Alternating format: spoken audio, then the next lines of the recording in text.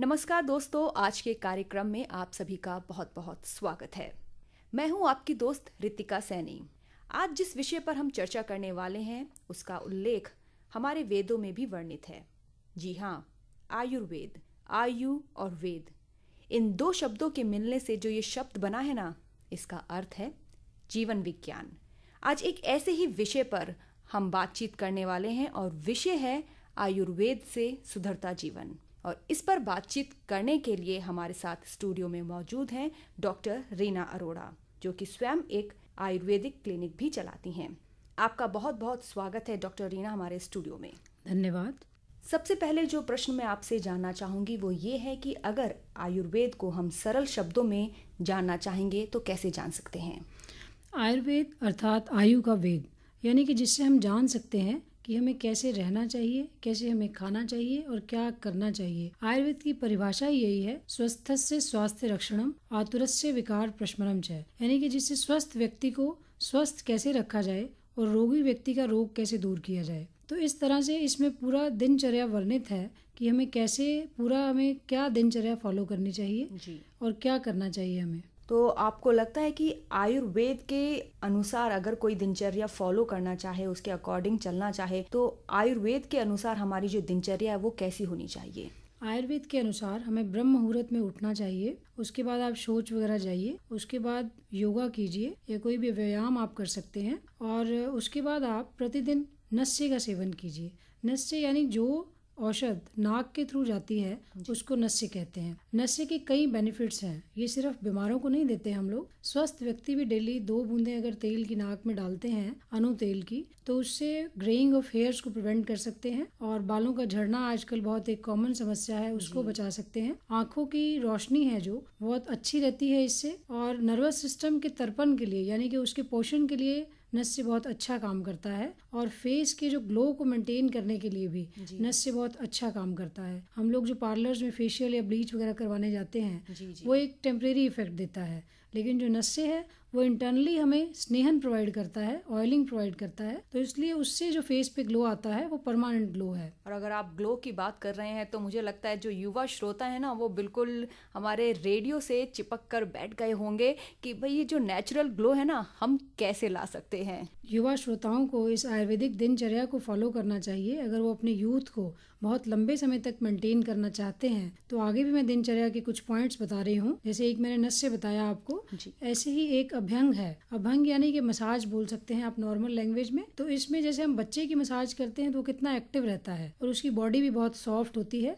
ऐसे ही अगर आप डेली नहीं तो वीक में एक बार अगर मसाज करवाते हैं या जिसे अभ्यंग कह सकते हैं मालिश जो है तो आपकी बॉडी की जो मसल्स हैं वो टोन अप रहेंगी उनका सर्कुलेशन इम्प्रूव्ड होगा आप बेटर काम कर पाएँगे। जो ऑफ़िस की थकान है या जो स्टूडेंट्स भी थक जाते हैं बैठे बैठे कईयों को बैकेक की प्रॉब्लम हो जाती है। जी बिल्कुल। इनके क्योंकि वायु बढ़ जाता है बैठने से। सारा दिन अगर आप बैठे रहते हैं तो अगर आप मसाज अभ्यंग करवाते हैं तो उससे आपको इसमें बहुत ज़्यादा आराम मिलेगा। ऐसे ही एक अंजन मेंशनड है हमारी दिनचर्या में। जैसे वीक में एक बार अगर आप रसांजन का सेवन करते हैं जी। तो आँखों में जो कैटरेक्ट वगैरह की प्रॉब्लम आजकल कॉमन हुई पड़ी है या बच्चों को भी चश्मे लग रहे हैं आई साइड बहुत वीक हो जाती है छोटी एज में ही जी। वो उसको प्रिवेंट करने के लिए बहुत अच्छा है। अगर आपको डेली जैसे काजल वगैरह लगाते हैं आप तो सोविरांजन अगर अवेलेबल हो तो उसको आप यूज़ करें तो वो आईज के लिए बहुत अच्छा है। किसी भी तीक्ष्ण अंजन को अगर आप रात को लगाते हैं तो आँखों की जितनी भी गंदगी है इतना पोल्यूशन से या वैसे भी वो सब निकल जाती है। जी जी बिल्कुल। ऐसे ही एक गंडूश मेंशनड है आयुर्वेद में जिसमें तेल को हम मुँह में भर के और उसको धारण करते हैं जब तक हम कर सकते हैं। जब तक आँखों में पानी ना आ जाए या कंफर्टेबल जब तक आप हो उसको आप रोकिए मुँह में। उसके बाद आप उसको फेंक के और सिंपल गार्गल कर सकते हैं गर्म पानी से। ये जो दांतों के लिए स्ट्रेंथनिंग के लिए गंडूश बहुत अच्छी चीज़ है। कैविटीज नहीं बनती जल्दी और दांत जिनके वीक होते हैं बहुत ज़्यादा ब्रिटल टीथ होते हैं जल्दी से टूटते हैं। जी। उसको लंबा लाइफ देने के लिए गंडूश एक बहुत अच्छी नेचुरल थेरेपी है। ऐसे ही दंत धावन हम कर सकते हैं जिसमें हम मंजन कर सकते हैं या करंज कदिर या नीम के पेड़ से हम दातुन कर सकते हैं। जी बिल्कुल बिल्कुल। दातून की आप बात कर रहे हैं तो जो हमारी जो दादी नाना नानी होते थे वो उस समय में दातून ही करते थे। वो तो आजकल जो है वो चलन चल गया है टूथपेस्ट का और आए दिन जो है डेंटिस्ट के यहाँ पे हम कैविटीज की समस्या लेकर बैठे रहते हैं। ये जो नीम के दातुन करते हैं जी। वो एक नेचुरल एंटीबायोटिक है। तो इसलिए अंदर कैविटीज बनने के चांसेस बहुत कम होते हैं अगर नीम के आप दातुन करते हैं। बच्चे हर एक मील के बाद ब्रश भी नहीं करते हैं। जी बिल्कुल। तो आपको जब भी आप कुछ खाएँ तो कोशिश कीजिए आप गार्गल कीजिए। और अगर आप नीम का दातुन करेंगे तो कैविटीज बनने के चांसेस भी बहुत कम हो जाएँगे आपके। रीना जी आप बता रहे हैं कि किस तरह से हमें जो आपने नस्य बताया गंडुश बताया लेकिन आज की दौड़ भाग और तनाव वाली ज़िंदगी में अगर हम आयुर्वेद के नज़रिए से अपनी जीवन शैली रखना चाहें तो हमारी जो जीवन शैली वो कैसी होनी चाहिए? आज की दौड़ भाग की ज़िंदगी में मैंने देखा है कि जो लोग ऑफ़िस में जॉब करते हैं या बहुत बिज़ी हैं उनको इवन टॉयलेट जाने का भी टाइम नहीं होता। जी, वो नेचुरल अर्जेस को भी रोकते हैं। ये बहुत गलत है। आपको उनको सप्रेस नहीं करना है। जैसे आपको मोशन आया है तो लोग बैठे रहते हैं वो फिर गैस बनती रहती है। बॉडी में टॉक्सिन्स डिपॉजिट होते जाते हैं कभी उनका सिर दर्द होता है कभी उनको इंडाइशन होता है। हमारी बुक्स में तो इतना भी मेंशनड है कि अगर आपको मोशन आया है और आप टॉयलेट नहीं जाते और, और आपका ये रूटीन बन चुका है कि आप मोशन आया है और आप नहीं जा रहे तो आपको टीबी तक हो सकती है। और टीबी के सिम्टम्स हो सकते हैं मतलब ये आप मत मानिए कि वो ज़रूरी नहीं कि आपको इन्फेक्शन वाले टीबी हो बट उसके जैसे पूरे सिम्टम्स उसमें हो जाते हैं। ये देखिए आप इसका कितना साइड इफेक्ट्स हैं। ऐसे ही अगर आपको यूरिन के लिए जाना है और आप नहीं जा रहे हैं। आप अपना काम में बिज़ी हैं कि ये करके जाता हूँ ये करके जाता हूँ। तो उसके बहुत सारे साइड इफेक्ट्स हैं। और इसी तरह से जो भूख लगती है हमें या प्यास लगती है या किसी को छींक आ रही है और वो छींक नहीं पा रहा है किसी मीटिंग में है या कुछ है तो फेशियल पैरालिसिस तक हो जाता है इसको रोकने से। और अगर आपको बहुत ज़्यादा नींद आ रही है आप रातें जाग जाग के काम कर रहे हैं तो उसके भी आपको भयानक परिणाम भुगतने पड़ सकते हैं। इसी तरह से किसी को उबासी आ रही है या उल्टी आ रही है और आप उल्टी भी करने नहीं जा पा रहे आप तो उससे कई तरह की स्किन डिजीजे हो जाती हैं। तो ये जो नेचुरल एलर्जीज मैंने कुछ मेंशन की हैं, इनको आप मत रोकिएगा। जी, बिल्कुल, जैसा कि आपने बताया कि जो नेचुरल अर्जीज हैं, सही बात है कि टॉयलेट आना या फिर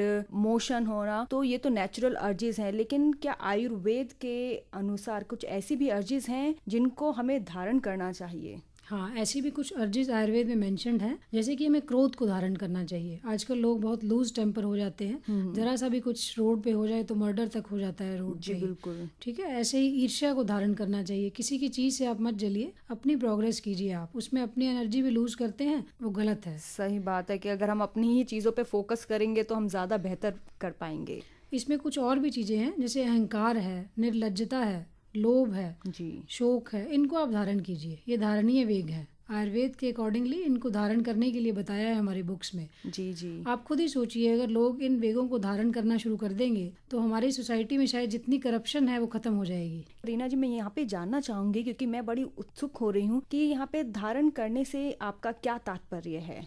धारण करने से तात्पर्य ये है कि आपको मान लो गुस्सा आ रहा है बहुत ज़्यादा हाँ कोई किसी की आर्गुमेंट्स हो गए आपके साथ तो आप कंट्रोल कीजिए थोड़ा माफ़ कर दीजिए ये है क्रोध को धारण करना। अच्छा। ईर्ष्या आपको हो रही है किसी से क्यों जल रहे हैं आप किसी से? आप अपनी एनर्जी वेस्ट कर रहे हैं और बिना बात की अपनी प्रोग्रेस को रोक रहे हैं। अपनी कंटेंटमेंट से अपनी ग्रोथ कीजिए किसी को देख के जलिए मत। ऐसे ही आप अहंकार मत कीजिए कि अपनी ग्रोथ में अगर आपको थोड़ा सा भी आप प्रोग्रेस कर गए तो आप सोचे मैं ही मैं हूँ तो वो गलत है। ऐसे ही निर्लजता मान लो कोई टीज आजकल ईव टीजिंग बहुत करते हैं लोग गर्ल्स के साथ इसीलिए बहुत ज़्यादा करप्शन हो गई है। तो ये धारणीय वेग है इसको रोकिए आप। अपने सिस्टर्स और मदर्स को जैसे आप देखते हैं वैसे ही दूसरों को देखिए। ऐसे ही लोभ करना बिना बात के आपको अगर कोई चीज़ नहीं मिल रही है और आप लालच ही लालच आपको आता जा रहा है उस चीज़ को आप धारण कीजिए उसको रोकिए आप। और शोक करना। जैसे आपको कोई चीज़ पता है कि आप किस चीज़ का रीजन जानते हैं क्यों हुआ है फिर उसके बावजूद भी आप उसी में डूबे हुए हैं कि मेरे साथ ये क्यों हुआ उससे आपको होगा क्या? स्ट्रेस होगा डिप्रेशन होगा मानसिक रोग होंगे। तो ये मानसिक वेग हैं सारे। इनको आप धारण कीजिए। खुद समझिए अगर इन लो इन सब वेगों को हम लोग धारण करेंगे जी। तो मेरे ख्याल सोसाइटी में सारी करप्शन निकल जाएगी। जी और एक बेहतर सोसाइटी हाँ। हम। अपने कंट्री को या फिर अपनी जो पृथ्वी है उसको दे पाएँगे। हाँ आयुर्वेद के अकॉर्डिंगली अगर आप जिए और अगर आप देखें कि आपको क्या खाना है कैसे रहना है तो शायद ये समाज पूरे वर्ल्ड में सबसे ज़्यादा फ़र्स्ट नंबर पे होगा हमारा भारत। क्योंकि आयुर्वेद जो है भारत की ही देन है। रशिया के कुछ डॉक्टर से मैं मिली थी एक वर्ल्ड आयुर्वेद कॉन्फ्रेंस में उनका कहना था कि वो आयुर्वेद को अपने देश में इसलिए लाना चाहते हैं कि उनका जो हेल्थ सेक्टर है उस पे जो एक्सपेंडिचर है वो कम हो। यानी कि वो प्रिवेंटिव मेडिसिन पे ज़ोर दे रहे थे कि बीमारी हो ही ना यहाँ पर। जी बिल्कुल आपने ये बहुत ही रोचक बात कही है कि बीमारी हो ही ना क्योंकि अगर हम देखें हम जो युवा लोग हैं हमारा जो रुझान है वो एलोपैथी की ओर ज़्यादा बढ़ता जा रहा है। तो जहाँ तक हमें ज्ञात है कि एलोपैथी में तो साइड इफेक्ट्स होते हैं लेकिन आयुर्वेद में साइड इफेक्ट्स नहीं होते हैं ये कहाँ तक सही है? आयुर्वेद में साइड इफेक्ट्स बहुत कम होते हैं पर फिर भी मैं इतना कहूँगी कि आप किसी भी चीज़ को बिना डॉक्टर की सलाह के मत लीजिए। इवन मैंने देखा है आजकल लोग अपने आप जाते हैं स्टोर पे एलोवेरा पीना शुरू कर देते हैं आंवला पीना शुरू कर देते हैं। एलोवेरा से हैवी ब्लीडिंग होती है। तो आप सोचिए जिन लेडीज़ को पहले ही ये प्रॉब्लम है और वो अगर एलोवेरा पीती हैं बिना वैद्य के परामर्श के तो उसके कितने साइड इफेक्ट्स उनको भुगतने पड़ सकते हैं। तो किसी भी चीज़ को आप अंडर एस्टिमेट मत कीजिए। चाहे वो जीरा है चाहे वो धनिया है चाहे वो कुछ भी है ये सब मेडिसिन है हमारे लिए। जी बिल्कुल और आपने बहुत ही अच्छी बात कही है कि कोई भी चीज़ लेते हुए या फिर वो आयुर्वेदिक हो या फिर वो एलोपैथी से रिलेटेड हो आप चिकित्सक के परामर्श के अनुसार ही उसको लीजिए। आयुर्वेद में सुप्रज को उत्पन्न करने के भी तरीके बताए गए सुप्रज माँ यानी अच्छी प्रजा यानी एक अच्छा बच्चा कैसे हो सकता है?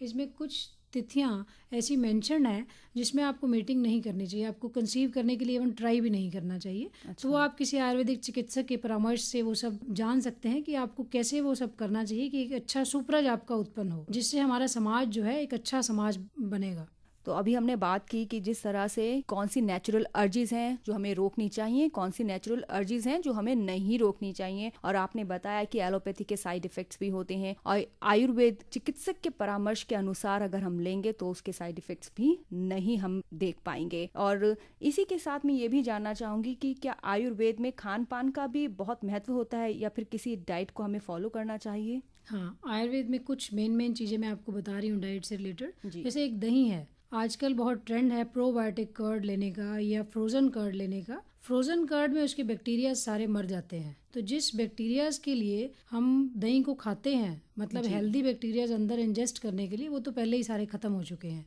तो फ्रोजन कर्ड अगर आप खा रहे हैं तो टेस्ट के लिए खा रहे हैं उसका हेल्थ के बेनिफिट्स कम हो जाते हैं। दूसरी बात नॉर्मली दही को वैसे नहीं खाना चाहिए दही स्वेलिंग करती है। जिन पेशेंट्स को या जिन लोगों को स्वेलिंग की प्रॉब्लम है या वाटर टेंशन की प्रॉब्लम है या अर्थराइटिस की प्रॉब्लम है तो उनको दही नहीं खानी चाहिए। और नॉर्मली भी जो लोग दही खाते हैं रूटीन में उनको दही मिश्री, आंवला, देसी घी या शहद। इनमें से कुछ भी एक चीज़ थोड़ी सी डाल के उसके बाद दही खानी चाहिए। जो तक्र है यानी कि जो छाछ है आजकल की लैंग्वेज में जी जी जी। ये बहुत ज़्यादा फ़ायदेमंद है। इसको अमृत माना गया है आयुर्वेद में। आप डेली दोपहर को लीजिए। एक तो ये इतनी गर्मी से राहत देगा आपको और पाचन शक्ति बहुत इम्प्रूव होती है तक्र के लेने सही बात कही कि क्योंकि इतना बाहर जो है मौसम जो है वो इतना हॉट हॉट है और जो छाछ पीने से जैसा कि इन्होंने भी कहा है डॉक्टर रीना जी ने भी कहा कि ये एक अमृत के समान है। तो इस भरी गर्मी में भी हमें कूल कूल का एहसास होगा। इसमें मैं कुछ चीज़ें आपको और बता दूँगी। हम्म। जैसे इतनी गर्मी में आप लोग कोल्ड ड्रिंक्स या आइसक्रीम्स की बजाय अगर गोंद कतीरा ले आम पन्ना ले या जलजीरा ले ये जो ये शिकंजवी ले नींबू की ये नेचुरल ड्रिंक्स आपको ज़्यादा ठंडक प्रोवाइड करेंगे।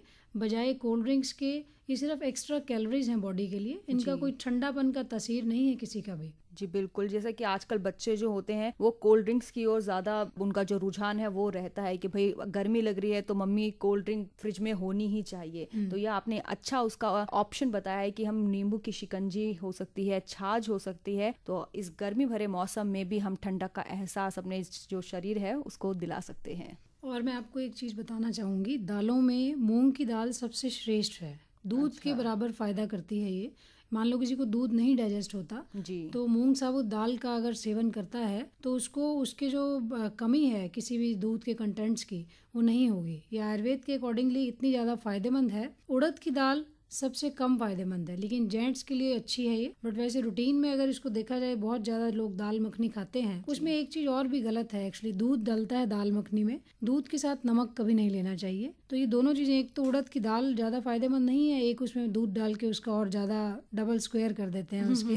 तो मतलब डबल नुकसान हो सकता हाँ, है। तो इसलिए उसको थोड़ा सा कम सेवन कीजिए। जी। तिल जो है दिमाग के लिए बहुत अच्छे हैं लेकिन तिल का तेल दिमाग के लिए अच्छा नहीं होता। मालिश के लिए अच्छा है लेकिन अच्छा। आप अगर उसको ब्रेन टॉनिक माने तो तिल है तिल का हाँ, तेल नहीं। जी, हर एक चीज़ की तासीर बदल जाती है। जैसे आप दही खाते हैं तो बहुत अच्छी बहुत नुकसानदायक है तक्र पीते हैं तो बहुत ज़्यादा फ़ायदेमंद है। तो इसीलिए तासीर अब कुछ चीज़ जैसे मैं आपको बता रही हूँ गेहूँ है हम्म, हम्म। ये बहुत ज़्यादा पौष्टिक है। लेकिन अगर आप तेल में गेहूँ की पूड़ियाँ बनाते हैं तो बहुत नुकसानदायक है। मतलब उसको तेल में के साथ गेहूँ का सेवन आपको नहीं करना चाहिए। ऐसे ही दूध के साथ आपको कभी भी खट्टी चीज़ें नहीं लेना चाहिए जो आजकल लोग शेक्स लेते हैं या फ्रूट्स लेते हैं दूध के साथ। इवन अखरोट भी मैंशनड है कि दूध के साथ नहीं लेना चाहिए।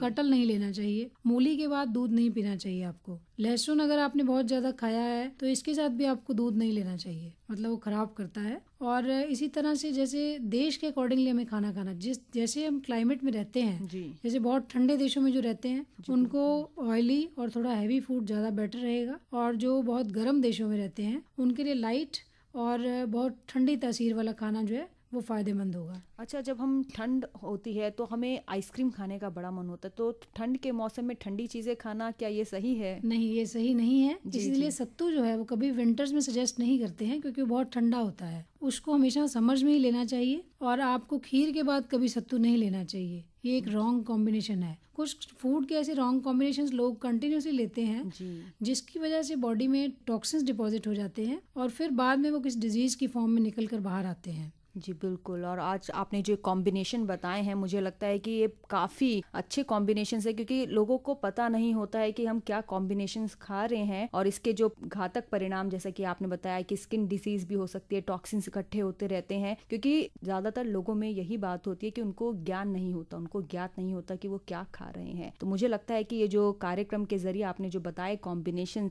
ये हमारे जो श्रोता हैं, उनके लिए काफ़ी लाभदायक भी सिद्ध होंगे। अगला जो प्रश्न मैं आपसे करना चाहूँगी, वो ये है है कि जिनकी दिनचर्या जो है वो इतनी नियमित नहीं होती है उनके लिए आप क्या कहना चाहेंगी? जिनकी दिनचर्या नियमित नहीं है हम्म। एक तो कोशिश करें कि जितना भी वो मैनेज कर सकते हैं वो इस दिनचर्या को फॉलो करें। और दूसरा अपना खाना वो घर का खाएँ। जंक फूड्स वगैरह बहुत ज़्यादा खाते हैं जो नाइट शिफ्ट्स करते हैं बीपीओ वगैरह में जॉब करते हैं उन्हीं की दिनचर्या ज़्यादातर अनियमित होती है। तो आप कोशिश कीजिए कि अपने मील टाइमिंग्स को मेंटेन रखिए। और दूसरा फ्रूट्स वगैरह ज़्यादा लीजिए वाटर इनटेक कीजिए और योगा वगैरह को ज़रूर इंक्लूड कीजिए ताकि जो आप गलत डाइट्स भी ले रहे हैं व्यायाम से जो लोग व्यायाम करते हैं उनको काफ़ी हद तक वो चीज़ें पच भी जाती हैं। एक और चीज़ मैं बताना चाहूँगी डाइट से रिलेटेड आपको जैसे आपको एक मेंशन है हमारी बुक्स में हृदय विरुद्ध खाना नहीं खाना चाहिए। हम लोग क्या करते हैं कि कई लोगों को चीज़ें पसंद नहीं है। हम्म, फिर भी हम्म। हम फोर्स करते हैं नहीं बेटे ये बहुत फ़ायदेमंद है इसको आप खाओ। जी बिल्कुल बिल्कुल भाई बिल्कुल। आजकल मम्मियाँ जो होती हाँ। हैं वो हाँ। बच्चों के पीछे नहीं नहीं ये साग जो है वो काफ़ी फ़ायदेमंद है इसको खाना चाहिए। तो हाँ, हाँ जी इसके बारे में ज़रूर इसके बारे में आपको ये बताना चाहूँगी युवा पीढ़ी को स्पेशली ये बताना चाहूँगी कि उसको आप मॉडिफाई करवाइए। आप कंटेंट्स वही रखिए। हम्म, तो आप लेकिन वो कंटेंट्स आपके अंदर जाएँ लेकिन वो चीज़ दिखने में आपके लिए रोचक हो और आप उसको खा पाए। इसको ऐसा कन्वर्जन कीजिए उसका कि वो दोनों काम हो जाए। आपका हृदय विरुद्ध भी ना हो यानी कि आपकी रुचि के अनुसार हो आपका खाना और वो हेल्थ के अकॉर्डिंगली भी हो। जी बिल्कुल क्योंकि कहते हैं ना जो दिखता है वो बिकता है यानी हम्म। अगर दिखेगा अच्छा तो हम खा भी पाएँगे हाँ। उसे। बिल्कुल सही कहा आपने कि हृदय विरोधी खाना हमें बिल्कुल नहीं खाना चाहिए। तो अगर सही ढंग से अगर हम थाली में पेश करेंगे तो शायद बच्चा क्या हम भी खा जाएँगे उसको। हम्म। एक कोष्ठ विरुद्ध खाना खाते हैं लोग आजकल यानी कि जिसको कॉन्स्टिपेशन की बहुत प्रॉब्लम है। हम्म, और जिसको ज़्यादा डाइट चाहिए वो बहुत लाइट सा और बिल्कुल हल्का सा खाना ले रहे हैं। कुछ लोग बहुत ज़्यादा काम करते हैं उनको हैवी खाना खाना चाहिए और दूसरा उनको कॉन्स्टिपेशन नहीं है। उसके बावजूद भी वो ऐसा गलत डाइट ले रहे हैं तो अपने जैसा हमारा डाइजेस्टिव सिस्टम है उसके अकॉर्डिंगली खाना लेना चाहिए हमें। जी बिल्कुल। हमें अपनी ही डाइट के अकॉर्डिंग और अपने शरीर, शरीर को ध्यान में हाँ। रखते हुए हमें जो है अपनी डाइट फॉलो करनी चाहिए। तो अभी आपने जैसे बताया कि हमें कौन सी डाइट आयुर्वेद के अनुसार हमें फॉलो करनी चाहिए हमें योगा अभ्यास करना चाहिए अपने शरीर को देखते हुए अपनी डाइट को देखते हुए हमें कैसा भोजन करना चाहिए। तो जो युवा पीढ़ी इस फ़ील्ड में अपना करियर बनाना चाहती है तो क्या संभावनाएँ हैं आयुर्वेदिक करियर में अगर अपना करियर तलाश रहे हैं? आयुर्वेद में करियर के लिए बहुत अच्छी ऑप्शन है क्योंकि अब WHO के साथ भी गवर्नमेंट ने टाइप किया है कि इंटरनेशनल लेवल पे इसको सर्टिफिकेशन मिल जाएगा योगा और आयुर्वेद को। तो अगर आप आयुर्वेद को अपना करियर अपनाना चाहते हैं जी। तो इसमें आप बी एम एस कर सकते हैं उसके बाद एम डी कर सकते हैं पी एच डी तक कर सकते हैं रिसर्च पेपर्स लिख सकते हैं आप अपना क्लिनिक चला सकते हैं गवर्नमेंट जॉब में जा सकते हैं टीचिंग में जा सकते हैं कई रिसर्च लेबोरेटरीज हैं जिसमें आयुर्वेदिक डॉक्टर्स उनको चाहिए होते हैं रिसर्च के लिए। जितनी भी फार्मेसिस्ट हैं सब में आयुर्वेदिक डॉक्टर्स की रिक्वायरमेंट्स होती हैं और अपनी फैमिली को तो ठीक रखेंगे ही आप तो इसलिए इसमें करियर की बहुत सारी ऑप्शंस हैं अब क्योंकि गवर्नमेंट ने एक अलग मिनिस्ट्री बना दी है इसमें इसी को प्रोग्रेस करवाने के लिए। जी बिल्कुल जैसे कि आपने बताया कि करियर की संभावनाएँ तो बहुत है लेकिन अगर कोई शिक्षा प्राप्त करना चाहता है तो कोई ऐसे सरकारी संस्थान जिनका आप उल्लेख करना चाहेंगी? तीन मेन सरकारी संस्थान है हमारे जैसे एक जामनगर है जामनगर में गुजरात आयुर्वेद यूनिवर्सिटी ऐसे ही जयपुर में है नेशनल इंस्टीट्यूट ऑफ़ आयुर्वेदा ऐसे ही बनारस हिंदू यूनिवर्सिटी में भी आयुर्वेद का बहुत बड़ा कॉलेज है और इसमें पीजी भी है। और भी कहीं कई कॉलेजेस हैं महाराष्ट्र में भी तिलक आयुर्वेदिक कॉलेज है और कहीं केरला वगैरह में बहुत सारे कॉलेजेस हैं लेकिन ये जो मैंने मेन मेन बताए हैं आपको इसके अलावा भी बहुत कॉलेजेस हैं आयुर्वेद के। तो अगर करियर की संभावनाएँ जो युवा लोग तलाश रहे हैं इसमें और जो शिक्षा ग्रहण करना चाहते हैं तो उनके लिए भाई संभावनाएँ बहुत हैं। तो जाते जाते आप हमारी युवा पीढ़ी को क्या संदेश देना चाहेंगी? मैं युवा पीढ़ी को यही संदेश देना चाहूँगी कि अगर आप ज़्यादा समय तक अपने यूथ को मेंटेन करना चाहते हैं तो आप इस पूरी दिनचर्या को फॉलो कीजिए जंक फूड्स छोड़ दीजिए और आजकल लोग करियर को छोड़ के कुछ गलत एक्टिविटीज़ में जल्दी लग जाते हैं। उनको छोड़ के अपने करियर में ध्यान दीजिए और एक अच्छे समाज का निर्माण कीजिए क्योंकि आप ही इस समाज का भविष्य हैं। जी, बहुत ही खूबसूरत बात आपने कही कि आप ही समाज का भविष्य हैं और एक अच्छा समाज का जो निर्माण है ना, वो हमें ही करना है। तो आप हमारे स्टूडियो में आई और इस महत्वपूर्ण विषय पर हमसे बातचीत की, इसके लिए आपका बहुत बहुत धन्यवाद। धन्यवाद। तो दोस्तों, आज हमने एक ऐसे ही महत्वपूर्ण विषय पर बात की कि किस तरह से आयुर्वेद से हम अपने जीवन में सुधार ला सकते हैं। तो अगली बार फिर से हम एक ऐसे ही महत्वपूर्ण या फिर कुछ अपनी ज़िंदगी के आसपास से जुड़े हुए विषयों पर हम बात करेंगे। तब तक के लिए अपनी दोस्त रितिका सैनी को दीजिए इजाज़त। नमस्कार।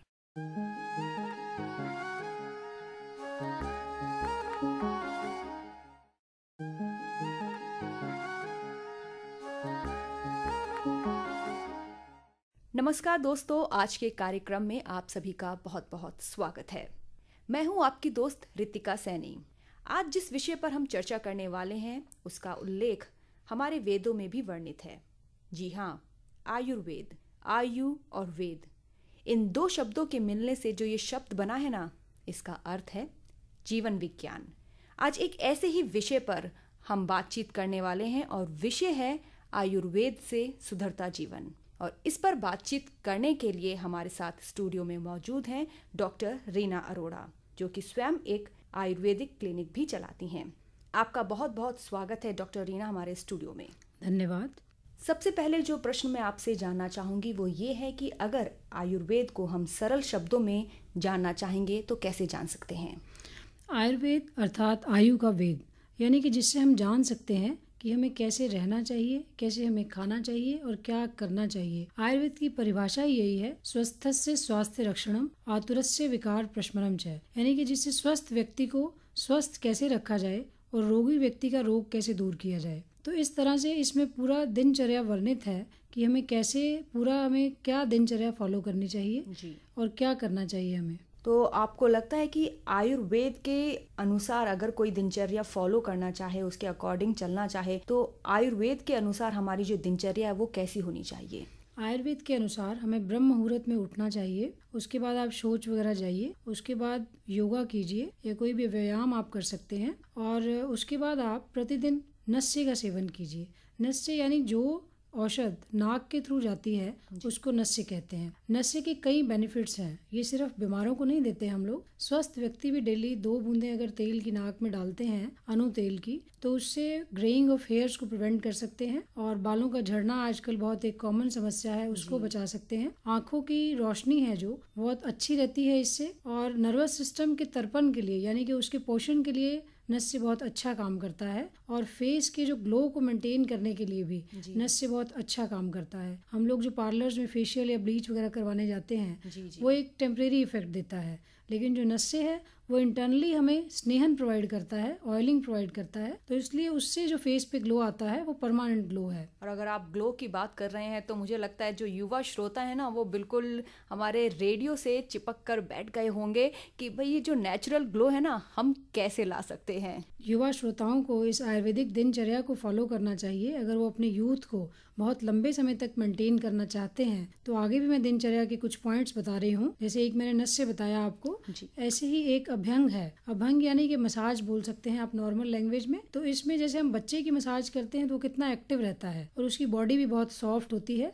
ऐसे ही अगर आप डेली नहीं तो वीक में एक बार अगर मसाज करवाते हैं या जिसे अभ्यंग कह सकते हैं मालिश जो है तो आपकी बॉडी की जो मसल्स हैं वो टोन अप रहेंगी उनका सर्कुलेशन इम्प्रूवड होगा आप बेटर काम कर पाएँगे। जो ऑफ़िस की थकान है या जो स्टूडेंट्स भी थक जाते हैं बैठे बैठे कईयों को बैकेक की प्रॉब्लम हो जाती है। जी बिल्कुल। इनके क्योंकि वायु बढ़ जाता है बैठने से। सारा दिन अगर आप बैठे रहते हैं तो अगर आप मसाज अभ्यंग करवाते हैं तो उससे आपको इसमें बहुत ज़्यादा आराम मिलेगा। ऐसे ही एक अंजन मेंशन है हमारी दिनचर्या में। जैसे वीक में एक बार अगर आप रसांजन का सेवन करते हैं जी। तो आँखों में जो कैटरेक्ट वगैरह की प्रॉब्लम आजकल कॉमन हुई पड़ी है या बच्चों को भी चश्मे लग रहे हैं आई साइड बहुत वीक हो जाती है छोटी एज में ही जी। वो उसको प्रिवेंट करने के लिए बहुत अच्छा है। अगर आपको डेली जैसे काजल वगैरह लगाते हैं आप तो सोविरांजन अगर अवेलेबल हो तो उसको आप यूज़ करें तो वो आइज़ के लिए बहुत अच्छा है। किसी भी तीक्ष्ण अंजन को अगर आप रात को लगाते हैं तो आँखों की जितनी भी गंदगी है इतना पोल्यूशन से या वैसे भी वो सब निकल जाती है। जी जी बिल्कुल। ऐसे ही एक गंडूश मेंशनड है आयुर्वेद में जिसमें तेल को हम मुँह में भर के और उसको धारण करते हैं जब तक हम कर सकते हैं।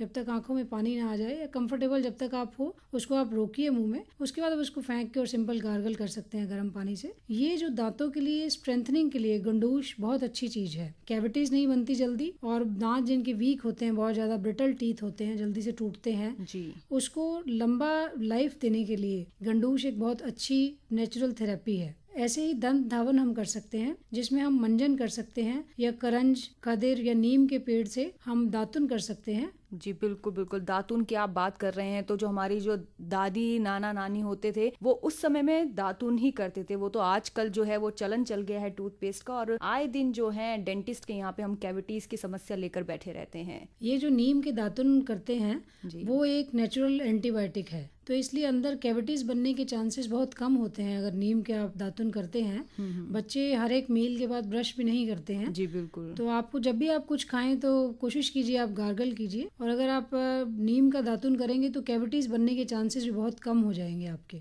रीना जी आप बता रहे हैं कि किस तरह से हमें जो आपने नस्य बताया गंडूश बताया लेकिन आज की दौड़ भाग और तनाव वाली ज़िंदगी में अगर हम आयुर्वेद के नज़रिए से अपनी जीवन शैली रखना चाहें तो हमारी जो जीवन शैली वो कैसी होनी चाहिए?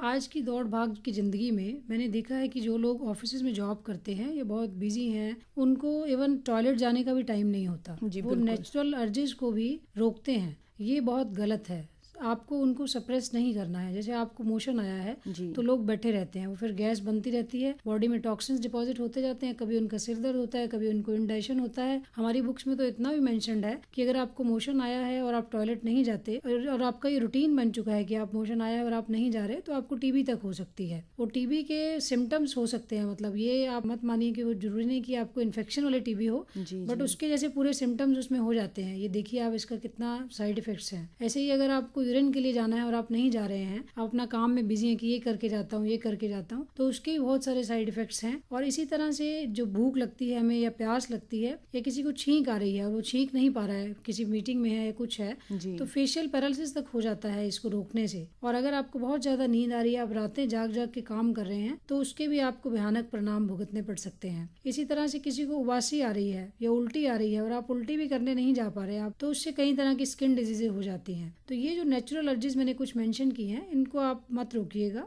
जी, बिल्कुल, जैसा कि आपने बताया कि जो नेचुरल अर्जीज हैं, सही बात है कि टॉयलेट आना या फिर मोशन होना तो ये तो नेचुरल अर्जीज हैं, लेकिन क्या आयुर्वेद के अनुसार कुछ ऐसी भी अर्जीज हैं जिनको हमें धारण करना चाहिए? हाँ ऐसी भी कुछ अर्जिज आयुर्वेद में मेंशनड हैं जैसे कि हमें क्रोध को धारण करना चाहिए। आजकल लोग बहुत लूज टेम्पर हो जाते हैं। जरा सा भी कुछ रोड पे हो जाए तो मर्डर तक हो जाता है रोड जी पे। बिल्कुल। ठीक है? ऐसे ही ईर्ष्या को धारण करना चाहिए। किसी की चीज़ से आप मत जलिए। अपनी प्रोग्रेस कीजिए आप। उसमें अपनी एनर्जी भी लूज करते हैं वो गलत है। सही बात है कि अगर हम अपनी ही चीज़ों पर फोकस करेंगे तो हम ज़्यादा बेहतर कर पाएँगे। इसमें कुछ और भी चीज़ें हैं जैसे अहंकार है निर्लजता है लोभ है जी। शोक है इनको आप धारण कीजिए। ये धारणीय वेग है। आयुर्वेद के अकॉर्डिंगली इनको धारण करने के लिए बताया है हमारे बुक्स में। जी जी। आप खुद ही सोचिए अगर लोग इन वेगों को धारण करना शुरू कर देंगे तो हमारी सोसाइटी में शायद जितनी करप्शन है वो खत्म हो जाएगी। रीना जी मैं यहाँ पे जानना चाहूँगी क्योंकि मैं बड़ी उत्सुक हो रही हूँ कि यहाँ पे धारण करने से आपका क्या तात्पर्य है? धारण करने से तात्पर्य ये है कि आपको मान लो गुस्सा आ रहा है बहुत ज़्यादा हाँ कोई किसी की आर्ग्यूमेंट्स हो गए आपके साथ तो आप कंट्रोल कीजिए थोड़ा माफ़ कर दीजिए ये है क्रोध को धारण करना। अच्छा। ईर्ष्या आपको हो रही है किसी से क्यों जल रहे हैं आप किसी से? आप अपनी एनर्जी वेस्ट कर रहे हैं और बिना बात की अपनी प्रोग्रेस को रोक रहे हैं। अपनी कंटेंटमेंट से अपनी ग्रोथ कीजिए किसी को देख के जलिए मत। ऐसे ही आप अहंकार मत कीजिए कि अपनी ग्रोथ में अगर आपको थोड़ा सा भी आप प्रोग्रेस कर गए तो आप सोचे मैं ही मैं हूँ तो वो गलत है। ऐसे ही निर्लजता मान लो कोई टीज आजकल ईव टीजिंग बहुत करते हैं लोग गर्ल्स के साथ इसीलिए बहुत ज़्यादा करप्शन हो गई है। तो ये धारणीय वेग है इसको रोकिए आप। अपने सिस्टर्स और मदर्स को जैसे आप देखते हैं वैसे ही दूसरों को देखिए। ऐसे ही लोभ करना बिना बात के आपको अगर कोई चीज़ नहीं मिल रही है और आप लालच ही लालच आपको आता जा रहा है उस चीज़ को आप धारण कीजिए उसको रोकिए आप और शोक करना। जैसे आपको कोई चीज़ पता है कि आप किस चीज़ का रीज़न जानते हैं क्यों हुआ है फिर उसके बावजूद भी आप उसी में डूबे हुए हैं कि मेरे साथ ये क्यों हुआ उससे आपको होगा क्या? स्ट्रेस होगा डिप्रेशन होगा मानसिक रोग होंगे। तो ये मानसिक वेग हैं सारे। इनको आप धारण कीजिए खुद समझिए अगर इन लोग इन सब वेगों को हम लोग धारण करेंगे जी तो मेरे ख्याल सोसाइटी में सारी करप्शन निकल जाएगी जी और एक बेहतर सोसाइटी हाँ। हम। अपने कंट्री को या फिर अपनी जो पृथ्वी है उसको दे पाएँगे हाँ। आयुर्वेद के अकॉर्डिंगली अगर आप जिए और अगर आप देखें कि आपको क्या खाना है कैसे रहना है हम्म, हम्म, तो हम्म। शायद ये समाज पूरे वर्ल्ड में सबसे ज़्यादा फ़र्स्ट नंबर पे होगा हमारा भारत। क्योंकि आयुर्वेद जो है भारत की ही देन है। रशिया के कुछ डॉक्टर से मैं मिली थी एक वर्ल्ड आयुर्वेद कॉन्फ्रेंस में। उनका कहना था कि वो आयुर्वेद को अपने देश में इसलिए लाना चाहते हैं कि उनका जो हेल्थ सेक्टर है उस पर जो एक्सपेंडिचर है वो कम हो। यानी कि वो प्रिवेंटिव मेडिसिन पे ज़ोर दे रहे थे कि बीमारी हो ही ना यहाँ पर। जी बिल्कुल, आपने ये बहुत ही रोचक बात कही है कि बीमारी हो ही ना, क्योंकि अगर हम देखें, हम जो युवा लोग हैं, हमारा जो रुझान है वो एलोपैथी की ओर ज़्यादा बढ़ता जा रहा है। तो जहाँ तक हमें ज्ञात है कि एलोपैथी में तो साइड इफेक्ट्स होते हैं, लेकिन आयुर्वेद में साइड इफेक्ट्स नहीं होते हैं, ये कहाँ तक सही है? आयुर्वेद में साइड इफेक्ट्स बहुत कम होते हैं पर फिर भी मैं इतना कहूँगी कि आप किसी भी चीज़ को बिना डॉक्टर की सलाह के मत लीजिए। इवन मैंने देखा है आजकल लोग अपने आप जाते हैं स्टोर पे एलोवेरा पीना शुरू कर देते हैं आंवला पीना शुरू कर देते हैं। एलोवेरा से हैवी ब्लीडिंग होती है। तो आप सोचिए जिन लेडीज़ को पहले ही ये प्रॉब्लम है और वो अगर एलोवेरा पीती हैं बिना वैद्य के परामर्श के तो उसके कितने साइड इफ़ेक्ट्स उनको भुगतने पड़ सकते हैं। तो किसी भी चीज़ को आप अंडर एस्टिमेट मत कीजिए। चाहे वो जीरा है चाहे वो धनिया है चाहे वो कुछ भी है ये सब मेडिसिन है हमारे लिए। जी बिल्कुल और आपने बहुत ही अच्छी बात कही है कि कोई भी चीज़ लेते हुए या फिर वो आयुर्वेदिक हो या फिर वो एलोपैथी से रिलेटेड हो आप चिकित्सक के परामर्श के अनुसार ही उसको लीजिए। आयुर्वेद में सुप्रज को उत्पन्न करने के भी तरीके बताए गए सुप्रज यानी अच्छी प्रजा यानी एक अच्छा बच्चा कैसे हो सकता है? इसमें कुछ तिथियाँ ऐसी मेंशन है जिसमें आपको मीटिंग नहीं करनी चाहिए आपको कंसीव करने के लिए इवन ट्राई भी नहीं करना चाहिए अच्छा। तो वो आप किसी आयुर्वेदिक चिकित्सक के परामर्श से वो सब जान सकते हैं कि आपको कैसे वो सब करना चाहिए कि एक अच्छा सुपरज आपका उत्पन्न हो जिससे हमारा समाज जो है एक अच्छा समाज बनेगा तो अभी हमने बात की कि जिस तरह से कौन सी नेचुरल अर्जीज हैं जो हमें रोकनी चाहिए कौन सी नेचुरल अर्जीज हैं जो हमें नहीं रोकनी चाहिए। और आपने बताया कि एलोपैथी के साइड इफेक्ट्स भी होते हैं और आयुर्वेद चिकित्सक के परामर्श के अनुसार अगर हम लेंगे तो उसके साइड इफेक्ट्स भी नहीं हम देख पाएँगे। और इसी के साथ मैं ये भी जानना चाहूँगी कि क्या आयुर्वेद में खान पान का भी बहुत महत्व होता है या फिर किसी डाइट को हमें फॉलो करना चाहिए? हाँ आयुर्वेद में कुछ मेन मेन चीज़ें मैं आपको बता रही हूँ डाइट से रिलेटेड जैसे एक दही है आजकल बहुत ट्रेंड है प्रोबायोटिक कर्ड लेने का या फ्रोज़न कर्ड लेने का। फ्रोज़न कर्ड में उसके बैक्टीरिया सारे मर जाते हैं। तो जिस बैक्टीरियाज के लिए हम दही को खाते हैं मतलब हेल्दी बैक्टीरियाज अंदर इंजेस्ट करने के लिए वो तो पहले ही सारे खत्म हो चुके हैं। तो फ्रोजन कर्ड अगर आप खा रहे हैं तो टेस्ट के लिए खा रहे हैं उसका हेल्थ के बेनिफिट्स कम हो जाते हैं। दूसरी बात नॉर्मली दही को वैसे नहीं खाना चाहिए, दही स्वेलिंग करती है। जिन पेशेंट्स को या जिन लोगों को स्वेलिंग की प्रॉब्लम है, या वाटर टेंशन की प्रॉब्लम है, या अर्थराइटिस की प्रॉब्लम है तो उनको दही नहीं खानी चाहिए। और नॉर्मली भी जो लोग दही खाते हैं रूटीन में, उनको दही, मिश्री, आंवला, देसी घी या शहद, इनमें से कुछ भी एक चीज़ थोड़ी सी डाल के उसके बाद दही खानी चाहिए। जो तक्र है यानी कि जो छाछ है आजकल की लैंग्वेज में जी जी जी। ये बहुत ज़्यादा फ़ायदेमंद है। इसको अमृत माना गया है आयुर्वेद में। आप डेली दोपहर को लीजिए। एक तो ये इतनी गर्मी से राहत देगा आपको और पाचन शक्ति बहुत इम्प्रूव होती है तक्र के लेने सही से। बात कही कि क्योंकि इतना बाहर जो है मौसम जो है वो इतना हॉट हॉट है और जो छाछ पीने से जैसा कि इन्होंने भी कहा है डॉक्टर रीना जी ने भी कहा कि ये एक अमृत के समान है। तो इस भरी गर्मी में भी हमें कूल कूल का एहसास होगा। इसमें मैं कुछ चीज़ें आपको और बता दूँगी। हम्म। जैसे इतनी गर्मी में आप लोग कोल्ड ड्रिंक्स या आइसक्रीम्स की बजाय अगर गोंद कतीरा ले आम पन्ना ले या जलजीरा ले ये जो ये शिकंजवी ले नींबू की ये नेचुरल ड्रिंक्स आपको ज़्यादा ठंडक प्रोवाइड करेंगे। बजाय कोल्ड ड्रिंक्स के ये सिर्फ़ एक्स्ट्रा कैलोरीज हैं बॉडी के लिए। इनका कोई ठंडापन का तासीर नहीं है किसी का भी। जी बिल्कुल जैसा कि आजकल बच्चे जो होते हैं वो कोल्ड ड्रिंक्स की ओर ज़्यादा उनका जो रुझान है वो रहता है कि भाई गर्मी लग रही है तो मम्मी कोल्ड ड्रिंक फ्रिज में होनी ही चाहिए हम्म। तो यह आपने अच्छा उसका ऑप्शन बताया है कि हम नींबू की शिकंजी हो सकती है छाछ हो सकती है तो इस गर्मी भरे मौसम में भी हम ठंडक का एहसास अपने जो शरीर है उसको दिला सकते हैं और मैं आपको एक चीज़ बताना चाहूँगी दालों में मूंग की दाल सबसे श्रेष्ठ है दूध अच्छा। के बराबर फ़ायदा करती है ये मान लो किसी को दूध नहीं डाइजेस्ट होता जी। तो मूंग साबुत दाल का अगर सेवन करता है तो उसको उसके जो कमी है किसी भी दूध के कंटेंट्स की वो नहीं होगी। ये आयुर्वेद के अकॉर्डिंगली इतनी ज़्यादा फ़ायदेमंद है। उड़द की दाल सबसे कम फ़ायदेमंद है। लेकिन जेंट्स के लिए अच्छी है ये। बट वैसे रूटीन में अगर इसको देखा जाए बहुत ज़्यादा लोग दाल मखनी खाते हैं। उसमें एक चीज़ और भी गलत है एक्चुअली दूध डलता है दाल मखनी में। दूध के साथ नमक कभी नहीं लेना चाहिए। तो ये दोनों चीज़ें एक तो उड़द की दाल ज़्यादा फ़ायदेमंद नहीं है एक उसमें दूध डाल के उसका और ज़्यादा डबल स्क्वेयर कर देते हैं उसके। तो मतलब डबल नुकसान हो सकता हाँ, है। तो इसलिए उसको थोड़ा सा कम सेवन कीजिए। जी। तिल जो है दिमाग के लिए बहुत अच्छे हैं लेकिन तिल का तेल दिमाग के लिए अच्छा नहीं होता। मालिश के लिए अच्छा है लेकिन अच्छा। आप अगर उसको ब्रेन टॉनिक माने तो तिल है तिल का हाँ, तेल नहीं हर एक चीज़ की तासीर बदल जाती है जैसे आप दही खाते हैं तो बहुत अच्छी बहुत नुकसानदायक है तक्र पीते हैं तो बहुत ज़्यादा फ़ायदेमंद है। तो इसीलिए तासीर अब कुछ चीज़ें जैसे मैं आपको बता रही हूँ गेहूँ है हम्म, हम्म। ये बहुत ज़्यादा पौष्टिक है लेकिन अगर आप तेल में गेहूँ की पूड़ियाँ बनाते हैं तो हम्म, बहुत नुकसानदायक है। मतलब उसको तेल में के साथ गेहूँ का सेवन आपको नहीं करना चाहिए। ऐसे ही दूध के साथ आपको कभी भी खट्टी चीज़ें नहीं लेना चाहिए जो आजकल लोग शेक्स लेते हैं या फ्रूट्स लेते हैं दूध के साथ। इवन अखरोट भी मैंशनड है कि दूध के साथ नहीं लेना चाहिए। कटल नहीं लेना चाहिए। मूली के बाद दूध नहीं पीना चाहिए आपको। लहसुन अगर आपने बहुत ज़्यादा खाया है तो इसके साथ भी आपको दूध नहीं लेना चाहिए। मतलब वो खराब करता है। और इसी तरह से जैसे देश के अकॉर्डिंगली हमें खाना खाना जिस जैसे हम क्लाइमेट में रहते हैं जैसे बहुत ठंडे देशों में जो रहते हैं उनको ऑयली और थोड़ा हैवी फ़ूड ज़्यादा बेटर रहेगा। और जो बहुत गर्म देशों में रहते हैं उनके लिए लाइट और बहुत ठंडी तासीर वाला खाना जो है वो फ़ायदेमंद होगा। अच्छा जब हम ठंड होती है तो हमें आइसक्रीम खाने का बड़ा मन होता है। तो ठंड के मौसम में ठंडी चीज़ें खाना क्या ये सही है? नहीं ये सही नहीं है। इसलिए सत्तू जो है वो कभी विंटर्स में सजेस्ट नहीं करते हैं क्योंकि वो बहुत ठंडा होता है। उसको हमेशा समझ में ही लेना चाहिए और आपको खीर के बाद कभी सत्तू नहीं लेना चाहिए। ये एक रॉन्ग कॉम्बिनेशन है। कुछ फ़ूड के ऐसे रॉन्ग कॉम्बिनेशन लोग कंटिन्यूसली लेते हैं जिसकी वजह से बॉडी में टॉक्सिन्स डिपॉजिट हो जाते हैं और फिर बाद में वो किस डिज़ीज़ की फॉर्म में निकल कर बाहर आते हैं। जी बिल्कुल, और आज आपने जो कॉम्बिनेशन बताए हैं, मुझे लगता है कि ये काफ़ी अच्छे कॉम्बिनेशन है, क्योंकि लोगों को पता नहीं होता है कि हम क्या कॉम्बिनेशन खा रहे हैं, और इसके जो घातक परिणाम, जैसा कि आपने बताया कि स्किन डिसीज भी हो सकती है टॉक्सिन्स इकट्ठे होते रहते हैं, क्योंकि ज़्यादातर लोगों में यही बात होती है कि उनको ज्ञान नहीं होता, उनको ज्ञात नहीं होता कि वो क्या खा रहे हैं। तो मुझे लगता है कि ये जो कार्यक्रम के ज़रिए आपने जो बताए कॉम्बिनेशन ये हमारे जो श्रोता हैं, उनके लिए काफ़ी लाभदायक भी सिद्ध होंगे। अगला जो प्रश्न मैं आपसे करना चाहूँगी, वो ये है है कि जिनकी दिनचर्या जो है वो इतनी नियमित नहीं होती है उनके लिए आप क्या कहना चाहेंगी? जिनकी दिनचर्या नियमित नहीं है हम्म। एक तो कोशिश करें कि जितना भी वो मैनेज कर सकते हैं वो इस दिनचर्या को फॉलो करें। और दूसरा अपना खाना वो घर का खाएँ।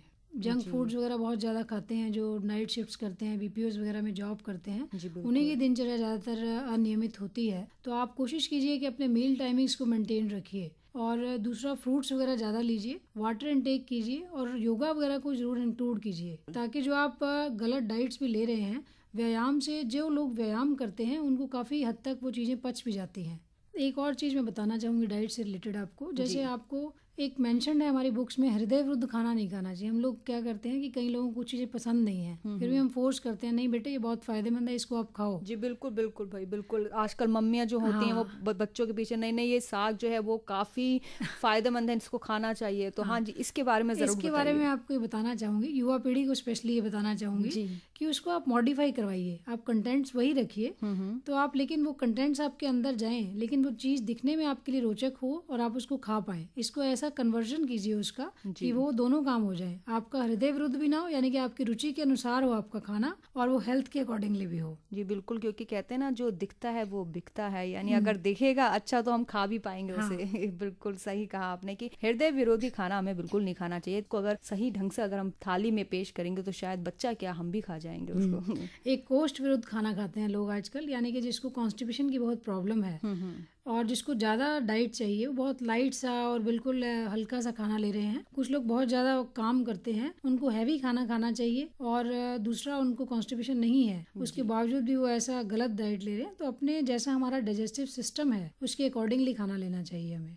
जी बिल्कुल। हमें अपनी ही डाइट के अकॉर्डिंग और अपने शरीर, शरीर को ध्यान में हाँ। रखते हुए हमें जो है अपनी डाइट फॉलो करनी चाहिए। तो अभी आपने जैसे बताया कि हमें कौन सी डाइट आयुर्वेद के अनुसार हमें फॉलो करनी चाहिए हमें योगा अभ्यास करना चाहिए अपने शरीर को देखते हुए अपनी डाइट को देखते हुए हमें कैसा भोजन करना चाहिए। तो जो युवा पीढ़ी इस फ़ील्ड में अपना करियर बनाना चाहती है तो क्या संभावनाएँ हैं आयुर्वेदिक करियर में अगर अपना करियर तलाश रहे हैं? आयुर्वेद में करियर के लिए बहुत अच्छी ऑप्शन है क्योंकि अब WHO के साथ भी गवर्नमेंट ने टाइप किया है कि इंटरनेशनल लेवल पे इसको सर्टिफिकेशन मिल जाएगा योगा और आयुर्वेद को।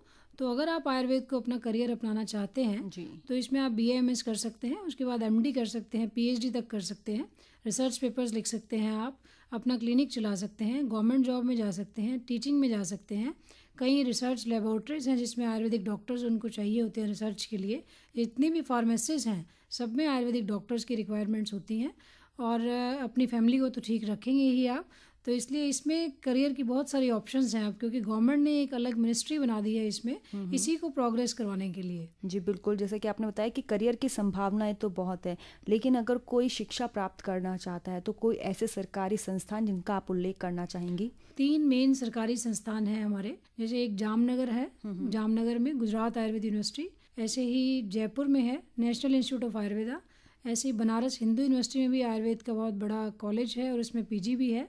और भी कहीं कई कॉलेजेस हैं महाराष्ट्र में भी तिलक आयुर्वेदिक कॉलेज है और कई केरला वगैरह में बहुत सारे कॉलेजेस हैं लेकिन ये जो मैंने मेन मेन बताए हैं आपको इसके अलावा भी बहुत कॉलेजेस हैं आयुर्वेद के। तो अगर करियर की संभावनाएँ जो युवा लोग तलाश रहे हैं इसमें और जो शिक्षा ग्रहण करना चाहते हैं तो उनके लिए भाई संभावनाएँ बहुत हैं।